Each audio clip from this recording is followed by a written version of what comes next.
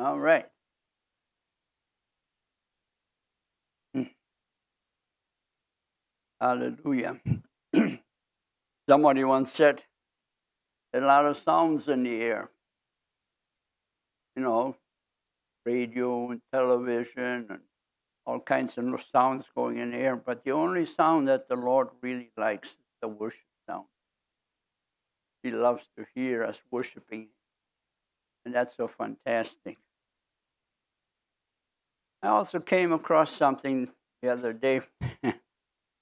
this pastor was talking about marriages, and um, and so this particular man walked up to us, one other man, and, and he says, uh, "Do you want to receive the Lord?" I says, "Well, yeah." Uh, does that? How does he treat me? He says, "Well, look at my wife."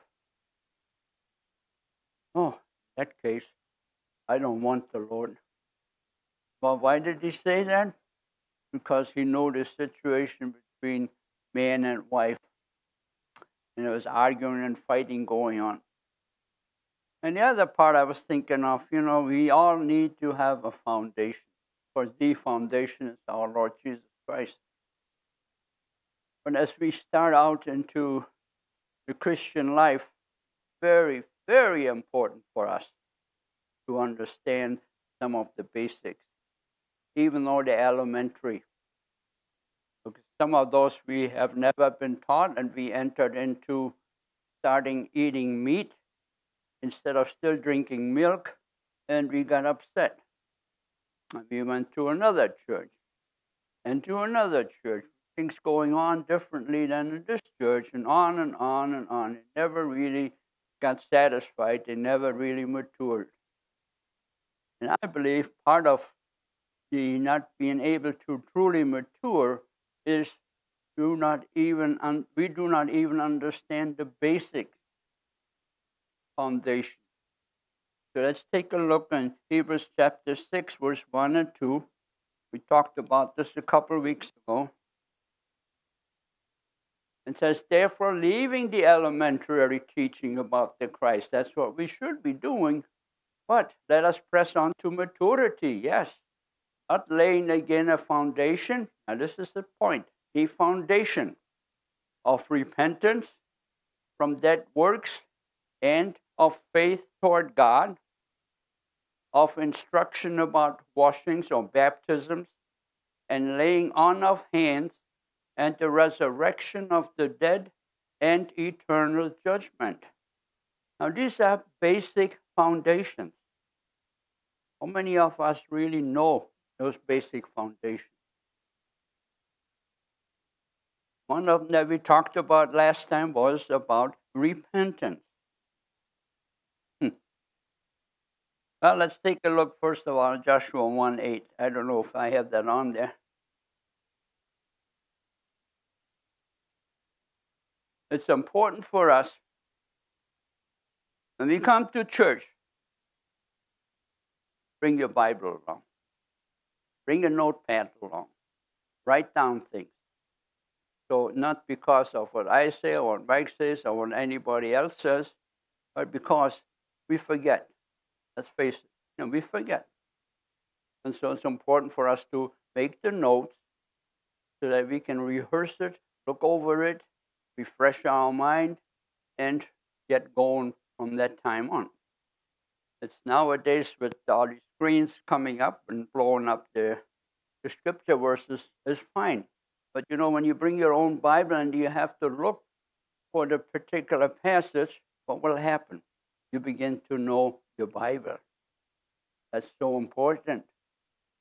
You know, somebody says you look for uh, uh, for Joshua chapter 1, verse 8. Boom, there it comes. Okay, so we look at that. Now, could you find that in your Bible? I hope you could. So remember this this is the, the Word of God, book of the law. It shall not depart from your mouth, but you shall meditate on it day and night, so that you may be careful to do according to all that's written in it. For then, then you will make your way prosperous. Then you will have success. Then you will mature. Then you will grow in Christ and become more like Christ. You see the importance of all of it, not just part of it. Some churches ignore certain parts of the scripture. I don't know why, but that's between them and the Lord. But the point is, the Lord wants us to know all of His Word. He wants us to understand all of His Word. You know, when, when the person that wrote the Hebrews chapter 6, I mean, Hebrews chapter 1, okay, he, I'm sorry, Hebrews chapter 6, verse 1 and 2 that we just read. Uh, there's a thing of the Holy Spirit leading that man into writing these things down. And when the Holy Spirit leads somebody, you better follow what he says. And so we see this here in this particular section here that he, he was anointed and he had a setting of two thoughts side by side, putting down these foundations in a right order. So, repentance, first of all, very important to understand repentance not just to understand, but to act on that. Okay? Then, number two, going on after this to maturity. Of course, God wants us to grow. But just like when, when children are raised up, they go to grammar school first before they go into high school. And so it is in our spirit. We have to grow, come as babes, suck on the milk, until we become so secure that we can eat ourselves. Why? Because you use the Word of God. You know where to look for. You you begin to study the Word of God day and night. Well, you know, means that not don't forget about God, even at nighttime. And it's important for us to understand these things. So, just a quick re- repeat of the repentance of dead works. Repentance is not an emotion, first of all. Remember that. It's not being remorse, feeling sorry. Oh, I'm so sorry, Lord. Forgive me what I have done. Well, of course, the Lord hears that and He forgives. But repentance is more than that. Repentance is making a decision. Why do you want to make a decision? Because you heard about what Jesus Christ has done for you. And you begin to think about it. The Spirit convicted you. And you begin to believe in it. Yes, that's possibility. But, and like the Bible says, repentance comes first before you truly believe. And so you make that decision. You change your mind, in other words. You turn around and not doing what you were doing before and giving it up. And I was drinking and smoking the Lord convicted me. I repented. I threw it all away. Because of that, I was completely free. So it can happen to anybody. You have a certain habit, hard to break. Repent of it. Turn away from it. Turn around and do what God wants you to do. That's the only way you truly can become free. That's why um, repentance is so important for us to understand. So it's resulting in a changed life because you truly meant business. That's the other part. We, we feel sorry of what we did. We are remorse about the situation, crying out to the Lord and help me. But we never change. We never change. We don't drop what we were doing, what the Lord convicted us not to do. We know what we're not supposed to. And so we, we never change if we not truly repent of it. Turn around, put it down. Don't give into it anymore. And you will become free. The truth will set you free. And that is so important for us to understand about the repentance. It's a humbling yourself. As we see in, in um, 1 Corinthians 11, he talked about the Lord's Supper and all. There were many sick and weak and, di- and died and all these kind of things. Then it says, judge yourself. In other words, look at yourself. Look why you don't believe. Look what's hindering you to believe what the Lord did. And then it says, if you don't judge yourself, He will judge you. He's going to hit you with a two by four over that until you wake up. He said, This is the way you're supposed to walk, not your way. You giving all that up, if you truly repent of it, you will not get back into it anymore. If you truly repent. If you just bear remorse about it, no. that's not what the Lord is looking for. That's why this basic foundation, this basic teaching is so important for us to grab a hold of so that we can humble ourselves and it, it changes uh, it changes us toward God and sin. We have a different outlook on these things. We don't give in to that. We worship the Lord. We know what He did for each one of us. We are acting on what the Lord wants us to act on. And you know, the biggest thing is we prove to the Lord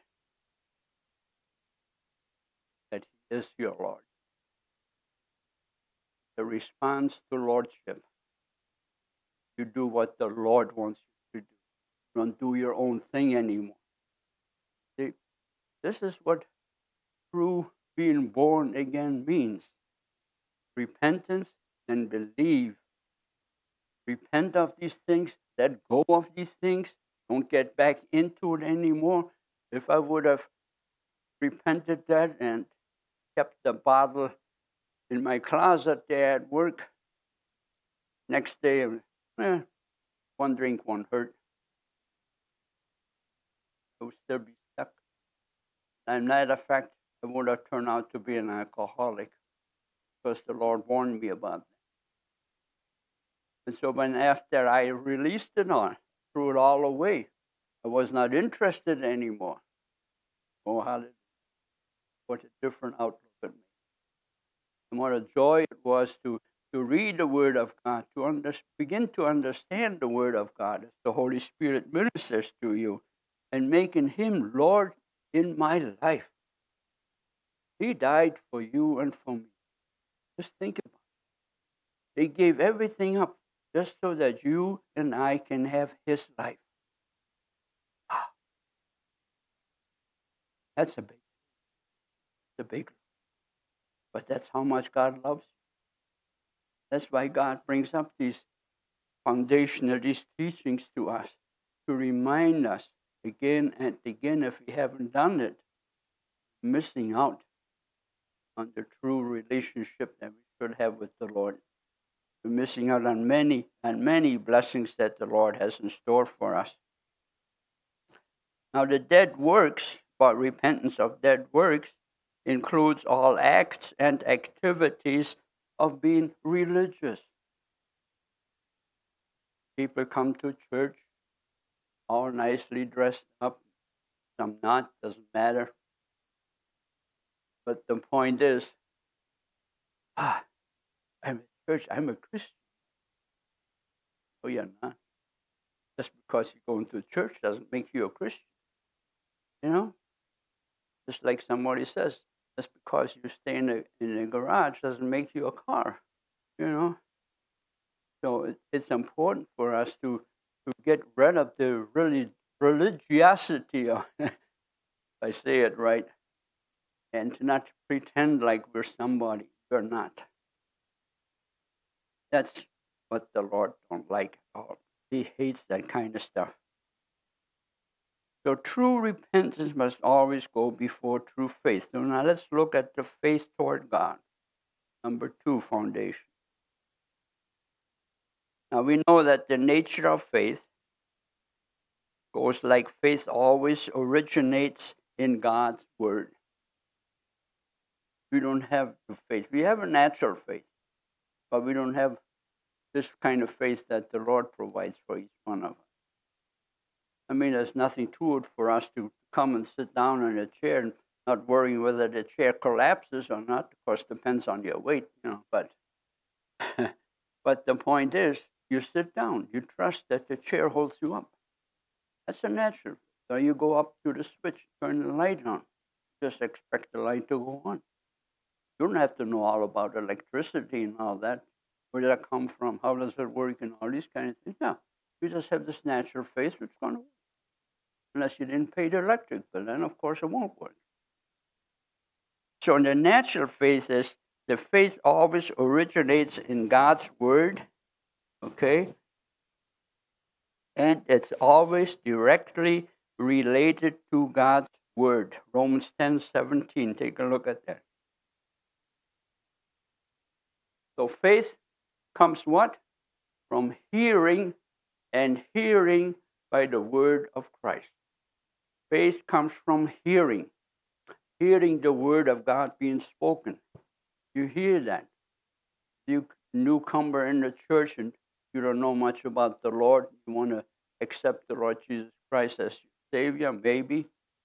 But you hear the words that's being spoken, God's word being spoken to you. That starts to do something in you. By grace, like the Bible says, you are saved. Not of your own. This was God. God provided. God provided this wonderful gift to us. And He says, you know, I love you so much. I want you to have faith that I have. That's God kind of faith. That's the kind of faith that helps us to truly believe. Now let's take a look at uh, Hebrews 11.1, the way it described uh, their faith in Hebrews 11.1. Now faith is what? The assurance of things hoped for. The conviction of things not seen. Now I got a different interpretation here. And it says, faith is the ground or confidence of things hoped for. Expectation with confidence, the sure persuasion concerning things to come.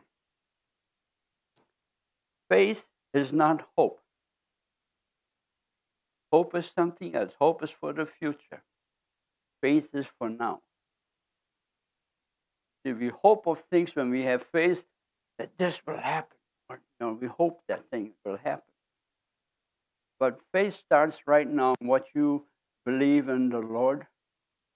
You act on that when you hear the word of God being talked. That's very important for us to understand. There's another thing. How can we please God? Well, of course, like repentance, praising and worshiping Him. But take a look in Hebrews 11, verse 6. Without faith, it talking about the spiritual faith, without faith that God has given to you, it is impossible to please Him. For he who comes to God must believe that He is and that He is a rewarder of those who seek Him. Do you really truly believe who He is?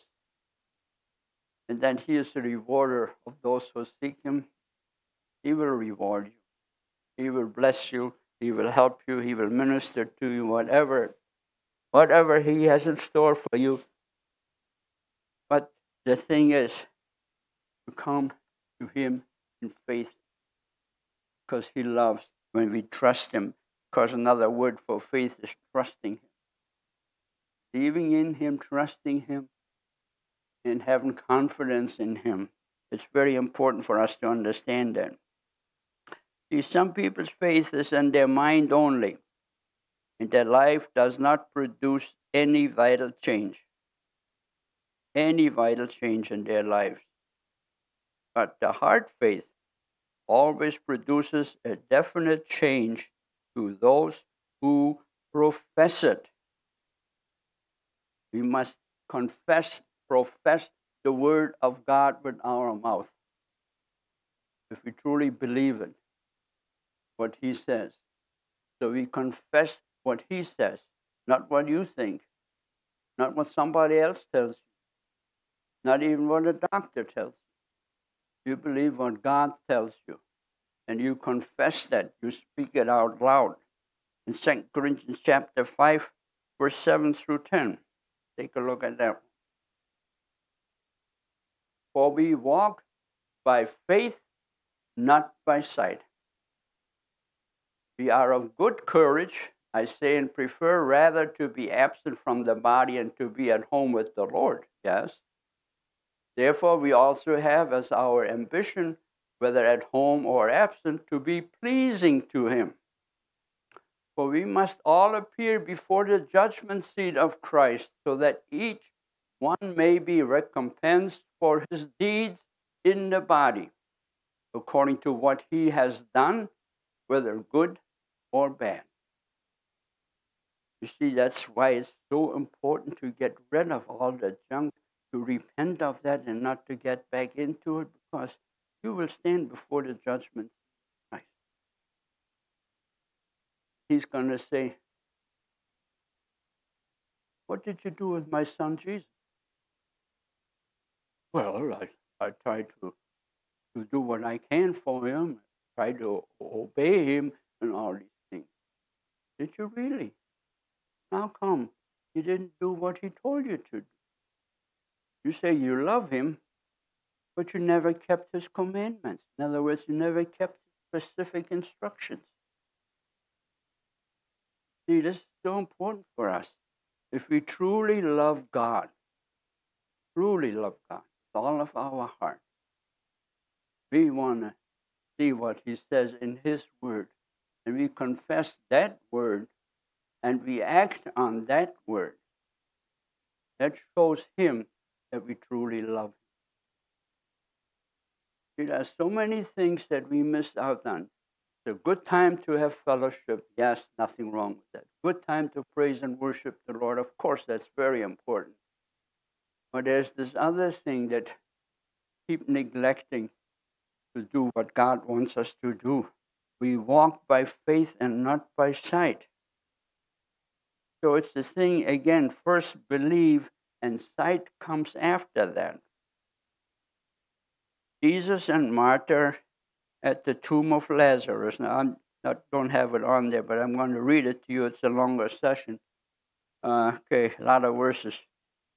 So if you have your Bible, open up to John 11, and let's try to go from verse 17 through 44. So when Jesus came, he found that he had already been in the tomb four days, talking about Lazarus. Now, Bethany was near Jerusalem, about two miles off. Okay, and many of the Jews had come to Martha and Mary to console them concerning their brother. Now, Martha, therefore, when she heard that Jesus was coming, she went to meet him. And Mary still at the house. Now, Martha therefore said to Jesus, Lord, if you had been here, my brother would not have died. Even now, I know that whether, whatever you ask of God, God will give you. And Jesus said to her, Your brother shall rise again. Oh, Martha said, Oh, I know that he will rise again in the resurrection on the last day. And Jesus said to her, I am the resurrection and the life. And he who believes in me shall live even if he dies. Now, if everyone who lives and believes in me shall never die, do you believe this? And she said to him, Yes, Lord. I have believed that you are the Christ, the Son of God, even he who comes into the world. And when she had said this, she went away and called Mary, her sister, saying secretly, The teacher is here and is calling for you. So when he when she heard it, she arose, arose quickly and was coming to him. Now Jesus had not yet come into the village, but was still in the place where Martha met him. And the Jews then, who were with her in the house, talking about Mary, and consoling her, when they saw that Mary rose up quickly and went out, they followed her, supposing that she was going to the tomb to weep there. Therefore, when Mary came where Jesus was, she saw him, fell at his feet, saying to him, Lord, if you had been here, my brother would not have died. And Jesus therefore saw her weeping, and the Jews who came with her also weeping. He was deeply moved in spirit and was troubled and said, Where have you laid him? They said, To him, Lord, come and see. Now, here's the shortest but very important verse, verse 35. 35, excuse me. Jesus wept. That's the shortest verse in the Bible. But it's very important to see how much Jesus cares, how much Jesus has compassion. And so the Jews were saying, Behold how he loved him. But some of them said, Could not this man who opened the eyes of him who was blind have kept this man also from dying? So Jesus, therefore, again, being deeply moved within, came to the tomb. Now it was a cave, and a stone was lying against it. Now here's the other part. Jesus said, Remove the stone. Now, Jesus, having the power of the Holy Spirit, he could have said, Stone, move. The stone would have moved. Why did he tell others to do? See, he wants people to be involved, just like people should be involved with him now after he's gone up to heaven and we're still here. He wants us to be in, involved with things that are very important. So Martha, the sister, the deceased, said to him, Come on, Lord, by this time there will be a stench, for he has been dead for four days. And Jesus said to her, Did I not say to you, if you believe, you will see the glory of God? Here we go again. If you believe, if you have faith, you will see. Not seeing before you believe. You have the faith to believe. And that's the, there's a whole story here in going up to verse 44.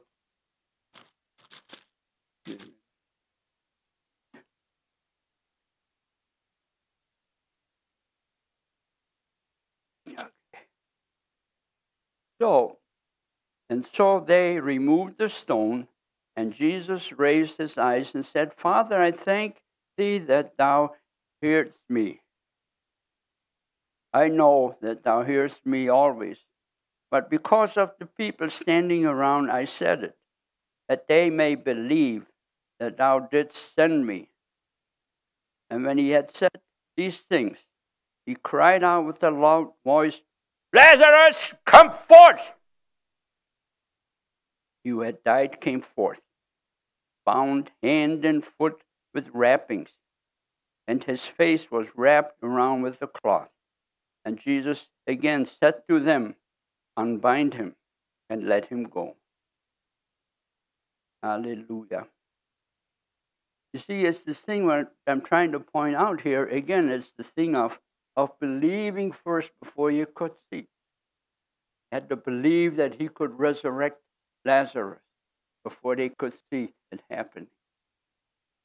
It's so important for us. We want to see before we truly believe a lot of times, don't we? We, we, we look at our sickness, we look at our wounds and all these kind of things and say, Come on now, Lord, where's the healing? Come on, Lord, you know I believe in you. Where's, where's my healing? Well, I tell you something. There's this other thing of unbelief that sneaks in. You say, well, you said you believe. Well, in a way you do. But why are you questioning the Lord?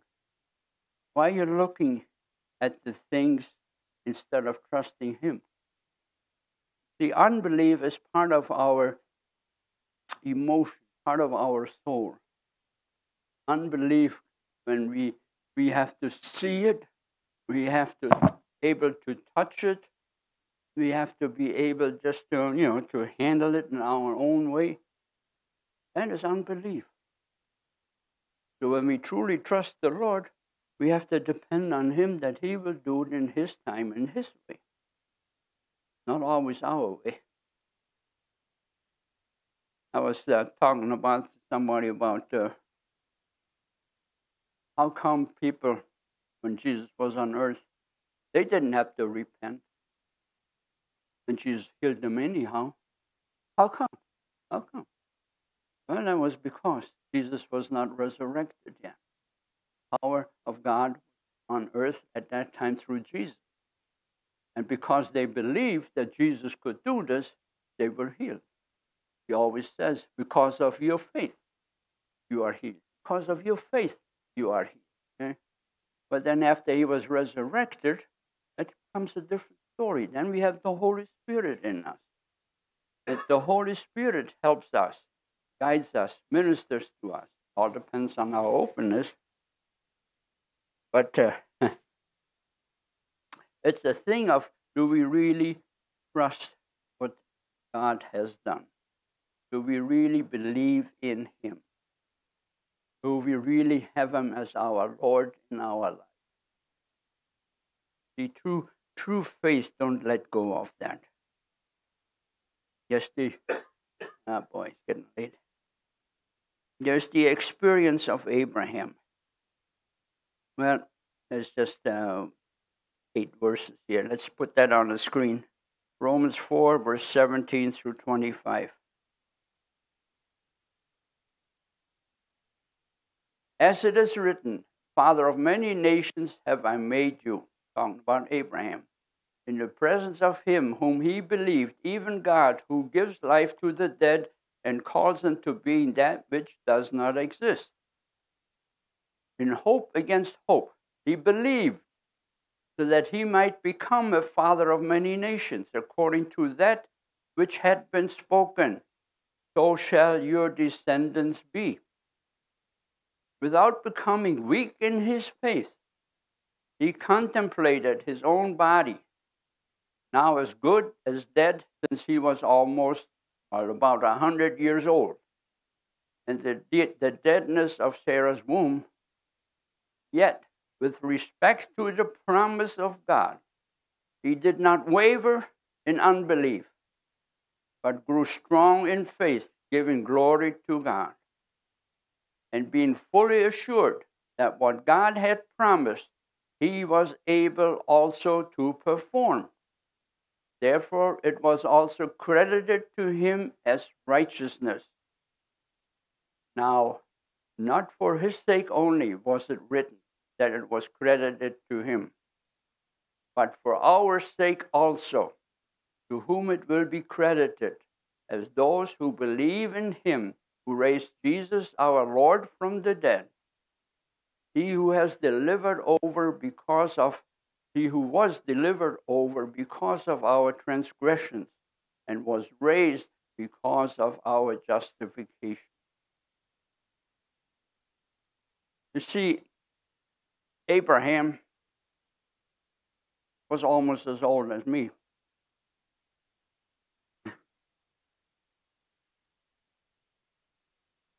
He didn't have any of those pills that you get nowadays, you know.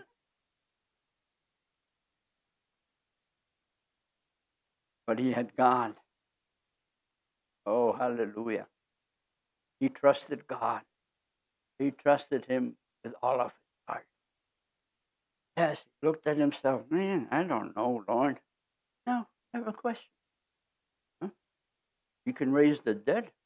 You can raise my deadness for his honor, for his glory. You know, the same with his wife. Wow. Now, it took quite a while for that promise to come true. No, some say 20, some say 25 years, whatever. It doesn't make any difference, but it was a long time. And he fell one time. He took his wife's, according to his wife's suggestion, took his wife's maid and, and had a child through her, which was Ishmael. That's why we have trouble with the people Ishmael nowadays, because it wasn't God's will for that child to be born. But after that, he continued to trust and believe in God that everything will work out fine, and it did. And then the next time we, we see that he takes his son up to the mountain and had him carry a bundle of wood. What's that for? Well, we're going to have a sacrifice up on the mountain. Oh, okay. Well, was he surprised? Abraham had to bind him up and lay him on top of that wood. What are you doing, Dad? I'm doing what God said. I know if I do this, He's able to raise you up again. That's what tells us in the book of Hebrews. He trusted the Lord so much that even if he had that knife into that body of his, God would raise him up. Now that's faith. That's faith. You trust the Lord like that? Even if you have to wait and wait and wait for the fulfillment of his promises? It's hard. I, I know it. It's hard. hard. But he promises and he will do it. So we see, we can learn from him, from Abraham. First of all, he accepted God's promises, a, a promise as being true from the moment it was given to him. Number two, he refused to accept the testimony of his senses as long as it did not agree with the statement of God. You see, if it would have been in agreement with the senses, that would have turned into unbelief. And number three, he held fast to what God had promised. With that, his physical experience and the testimony of his senses were brought into line with the statement of God. Faith towards God is your second foundation, basic foundation. How is your faith towards God? Think about it. Oh, yeah. Wait till you get into difficult and see what you say then. You begin to wonder God still love me? Is He there? Doesn't He hear me? I'm in pain. Didn't you hear me? No answer. That's not easy. But if we truly believe God, truly trust Him, it will come. Somebody once said, Look at the stuff that Job had to go through. I mean, that poor man sitting in ashes, that's the only way he could find comfort. He had boils all over him. Whew. Can't even imagine. And his wife was a real support. Curse God, you know, he doesn't help you. From said, No, I'm not going to curse my God. What's that? Yeah. Well, this is my own words. Excuse me, sir. okay, so anyhow, and uh, then this one minister talked about this, and he came up with something. No, I think it was actually um, uh, what's it? Myers, Myers, yeah, Joyce Myers. And she says, You know, you might be going through a hard time, but if you hang on there, trust God for the outcome. He has two wonderful things waiting after that. Now, how does she mean that? Well, look at it. When he finally got through it, he interceded even for his so called comforters, you know, which weren't really comforting him. They were just accusing him of of doing things. That's why he's suffering like that. But when the when the Lord confronted him, and he says, "Were you there when I did this? When I did that?" He had to admit no. So there there was something that he had to overcome his self righteousness. That's my opinion. Others might have another opinion about that. because God questioned him, Were you there? Had to admit no. So what Abraham, be, I mean, what the Job began to see was that God knows more than I do.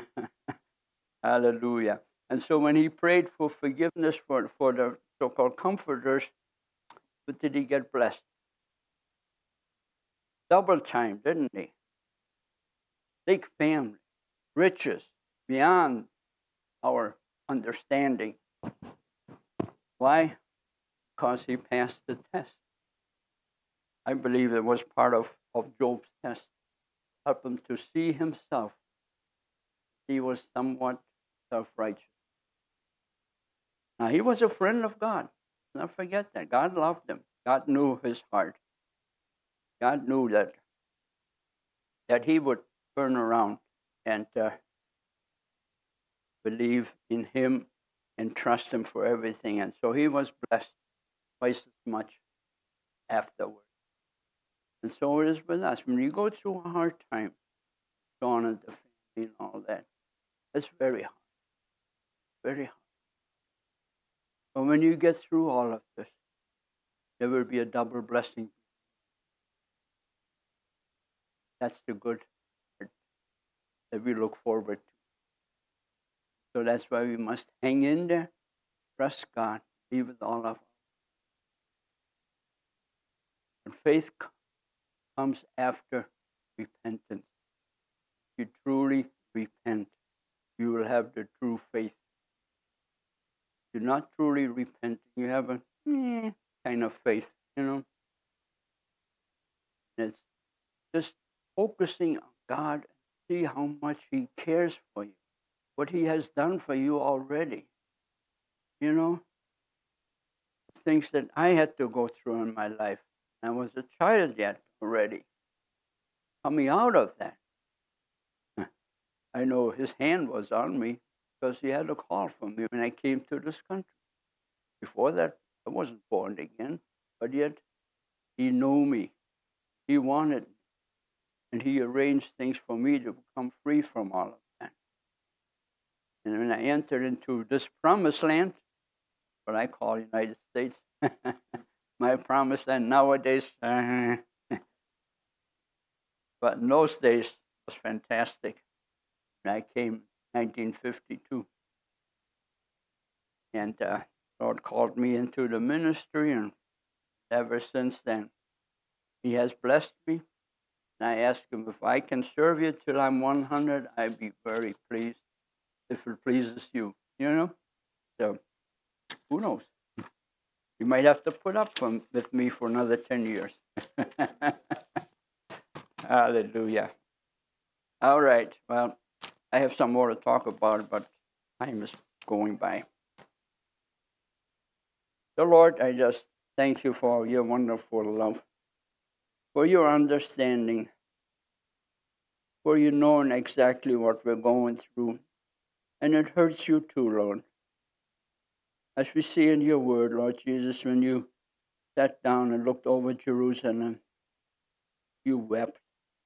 You wept It was because people are hurting, yeah, and people rejecting you. Oh, Lord, we don't understand all of the stuff that you went through for each one of us. Taking all of our sickness, diseases, and everything, and sins and sorrows, all on the cross. Not just from us here, but from the whole world. Only you can do that. That's why you're God. And that's how much you show how much you love us.